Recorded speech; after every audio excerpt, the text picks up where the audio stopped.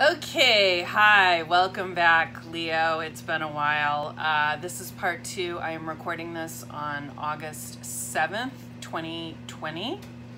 Um, I know this is kind of late. You're going to be getting this on Friday or early Saturday um, of this week. Uh, sorry for the delay. There have been some screw ups, problems with technology this week, but it should be better. Uh, and I'll be getting back on schedule again next week. Um, this one runs the risk of me making an, a lot of enemies in the Leo community this week. Uh, this is a general reading. Hi, if you're new here, welcome. Uh, feel free to like, share, comment, and subscribe if this is of value to you, if you don't run away screaming in anger. Um, but uh, I'm a psychic medium if you don't already know that, my name's Anya Briggs. Hi, how are ya? Welcome back if you are a subscriber, and let's get started. Um, this week's energy that I'm picking up on is general. Like I said, this will most likely have to do with Leo, sun, moon, or rising. And keep in mind, these things that I'm mentioning may have something to do with uh, someone else in your life. It may not have to do with you if you are, in fact, the Leo in mention. It may have to do with your life situation or someone else. Um, the theme is called Another One, as in Queen's song, Another One Bites the Dust. And I keep hearing the lyrics, and another one gone, and another one gone, and another one bites the dust. And um, it, what I'm getting from that is people are leaving you in droves. I've just been, my guides are so funny. I work with my guides. Um, and they've made pretty much all of the readings this week, with the exception of maybe one or two themes being around titles of songs. So they have a funny sense of humor, but you may not think this is very funny. Um, people are leaving you in droves, and that's actually probably a good thing. They need to go off by themselves. Rest assured, they're finding themselves. They will come back. Um, and I, oh, hi, my cat just showed up. He likes to show up sometimes now when I do readings. It's funny. Because he's on personal evolution. He used to stay far, far away, and now he wants to be a part of it. Okay, I'm just so you don't fall off the couch. I have to smush him back a little bit because he likes to sit on the edge and then he falls off. Um, so, you know, you may have people coming and going, mostly going right now, Leo. This is a redirect. This is um, something that has to happen mostly for the other people in your life. They are going through a lot. And I was guided to talk about this. This is really weird because this person means a lot to me and I can't say how I know them, but I know them, if you know what I mean. Um, even though I don't by the standards of 3D reality. But I do. I do know them. And it's really funny because um, I've noticed that this person started regressing and falling back on old pa patterns and behaviors that no longer serves him. He started smoking again. Well, he started vaping. He wasn't smoking, but it uh, it's I can feel that it has a negative response to his chest cavity. That it's not going to be good for his respiratory system or his heart rate or anything.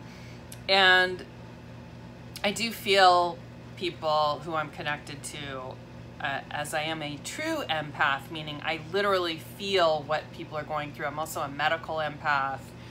Um, so I get like physiological, I'm not a substitute for medical advice, but I do get that kind of thing. And uh, feeling physically sometimes with when this person is breathing, I can feel because of the vaping, it's uh, it might be restricting um, eventually to his breathing if he's not already noticing a shortness of breath. And it's weird because um, it's it's called regressing, but it's also called um, protest behavior is what it feels like against a reaction to something that I know he's going through because I'm experiencing as well. It, it's about potentially a woman he likes or um, something to do with intimacy. Both are intricately linked. and it threatens his protection and his sense of safety. And so he's looking to other people to model from because he's feeling kind of jittery. And he wants to rebel as a reaction, which is a protest behavior. It's a psychological term. Um, he doesn't want to acknowledge the feelings he has for someone. Um, and my guys were saying, feelings, scary. Like you have to say it like a little kid. You know, um, his attachment style, they're calling, is burned. If you know about um, attachment theory, there's different types. One of them is dismissive avoidant or fearful avoidant, um, which is um, one that he is. There's one that's ostensibly called secure. I don't believe that exists. I think everyone has an insecure attachment style to a greater or lesser degree. But okay, apparently there's this thing called a secure attachment style to a significant other, to a, meaning, a meaningful relationship. And then there are um, fearful, anx anxious types and avoidant types. So we all have different responses depending on different experiences we've had in our lives. This does apply to you, Leo. I'm feeling very strongly, I have to say this. Even though Leos don't really watch my channel, but whatever whomever this is applying to, it should apply to you as well. This has to do with avoiding codependent um, or approach avoidant behavior. Approach avoidance is a form of codependence as well. And it's basically in the form of controlling behavior or trying to control situations or um, being angry at the response to intimacy or uh, sabotaging through anger or rebellious types of protesting behavior, which is like, you can't tell me what to do, kind of like a teenager.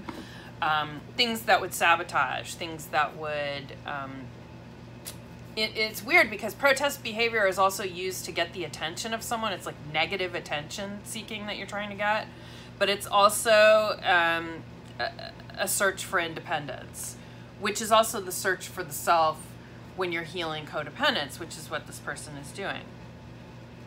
And probably this behavior manifested because the expression of love um, that he received growing up was, um, it wasn't really love, it was smothering, boundaryless, and um, enabling. And the, the mother told him everything, good, bad, and otherwise. I know he's not going to like me saying this, but this is what I'm guided to say. And it's easier to do this than ask um, forgiveness, you know, it's easier to do this than to ask permission now and just ask forgiveness later. Um, because I feel like this would help others, and I'm not doxing him or anything, but he knows this is about his experiences. So it's a boundaryless mother told him everything about her life that she shouldn't have. She told him things that adults should not tell children's and that children, and that's what um, creates something called parentification, where if the mother is anxious, say, and I believe this has to do with you, Leo. I feel like one or more of you might be doing this to someone else. So watch out. You have to take responsibility for your emotions and your emotional life and your traumas and your childhood traumas, which I believe every human is born with. I don't believe we're exempt from that at all. But anyway, this mother basically treated him like an adult rather than a child. Almost like the absent husband that she should have had, minus the, I mean, I don't know if there was actual incest with the biological mother, but um, there is a thing called emotional incest, which is also what causes parentification. It's not what you think it is. It's um, no boundaries in a parent-child relationship, and then the parent tries to adultify the child, and then the child grows up joyless and untrusting and hating intimacy or anything akin to that because the mother was trying to make him really more like a substitute husband, um, usually minus the sex, but it doesn't exclude actual incest in some cases as well. Um, it's wrong. It's abuse. It's abuse. It's abuse. It's psychological abuse. It's emotional abuse. It's putting on burdens on children when they're too young and forcing them to grow up too fast. It's just wrong. It's bad parenting. And so also sometimes adultification happens when the, the burdens of the household, like say there's an alcoholic in the family who doesn't take care of the things that the adults are supposed to be taking care of, so the child has to clean and cook. It's not just taking on the emotional labor of a parent, but sometimes the actual physical household stuff that you have to do. The lack of filters and telling her child everything, and I am getting very specifically, this is like a mother doing this to, I'm getting in this case for the audience, um, a daughter. But I'm relating this story because I feel like it's important for the audience. And this is stuff that has kind of been talked about a lot as well, but in this context, I'm specifically reaching out to Leo this week for this to either tell Leo to stop doing this or to make them aware that this is dysfunctional behavior and that if it happened to you, to become aware of that so you can do something about it um, in therapy or wherever, but to understand that it's not your fault if that was done to you. And I'm very sorry if it did happen to you. It's a terrible burden to give a child. But at the same time, to give it a name sometimes helps.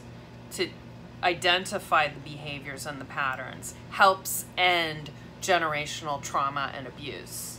And it begins and ends with each individual who decides to do that, to be the trauma ender, to be the abuse ender, to become aware of those patterns and do something productive about it rather than be held by it hostage. Um, so, um, this week, um, uh, I don't know if this could apply to your situation this week, but it feels like it. It really feels like Leo woman is doing this. It doesn't necessarily have to be you are the Leo woman doing it if you are a Leo woman. But I'm feeling like a Leo woman is doing this to a child right now. And it could be someone watching, I don't know, but if you're currently doing something like that, if you're unburdening yourself of all your adult problems with your child, that's wrong. Stop. Don't do it. I mean, unfortunately, Child Protective Services doesn't include emotional abuse as part of the criteria for removing a child from a home, but it should. And that's one of the things that's an indicator of bad parenting. Um, and honestly, you're not doing your child any favors. You're not parenting your child if you are parentifying them. So, um, also, if again, this could apply if you have a Leo mom and she did this to you.